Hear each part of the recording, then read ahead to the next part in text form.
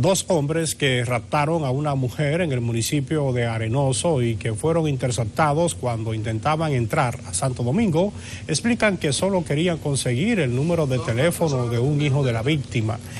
Los detenidos son los hermanos Rafael Sterling y Johnny Melenciano Marte, oriundos del municipio de Baní, quienes raptaron o también raptaron en una jipeta a la nombrada Leonora Sánchez Rojas.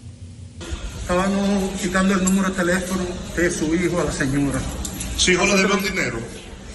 No sé a quién él le debe dinero, pero simplemente le queríamos, le queríamos el número de- del- del hijo de él. Simplemente no le hicimos daño, la doña estaba en, en buenas condiciones, no la amenazamos, ni la amarramos ni nada. ¿Y tú qué no tienes que decir, joven? Yo la verdad no sabía nada de esto. A mí me subieron en el carro para que yo guiara y no sabía nada de nada, de verdad. ¿Ustedes nunca no- le maltratan a la No, doña? nunca, nunca.